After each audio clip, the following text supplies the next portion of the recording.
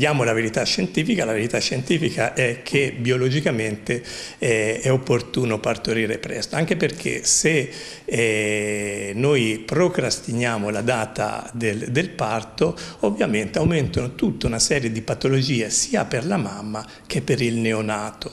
È il giorno della fertilità, il Fertility Day, l'iniziativa del Ministero della Salute che negli ultimi giorni ha infiammato molti animi e acceso altrettante polemiche. Si tratta della prima giornata nazionale dedicata all'informazione e formazione sulla fertilità, una tematica che abbiamo affrontato con il dirigente medico del Dipartimento Materno-Infantile dell'ospedale San Donato di Arezzo.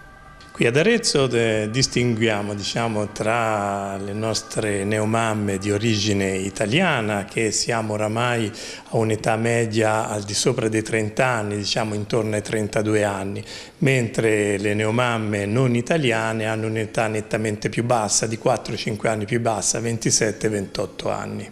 Ecco, sempre parlando di fertilità, quali sono le problematiche che vengono riscontrate più spesso?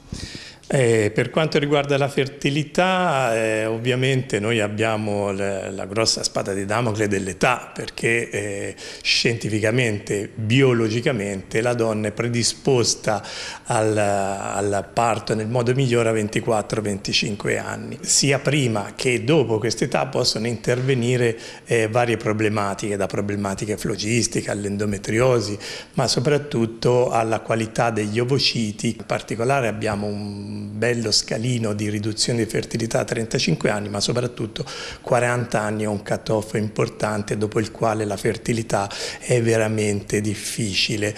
Per quanto riguarda la prevenzione ovviamente eh, occorre un'attenzione nella sfera sessuale per evitare malattie eh, infettive sessualmente trasmesse, parliamo di, di igiene dell'alimentazione perché anche questa influisce moltissimo eh, nel percorso della fertilità. Altra prevenzione che può essere fatta è sicuramente informare le donne sulla loro biologia questa è una cosa che deve avvenire fin dall'età scolare e dare le informazioni giuste sul, sulle capacità biologiche delle donne di poter procreare nelle varie età della vita.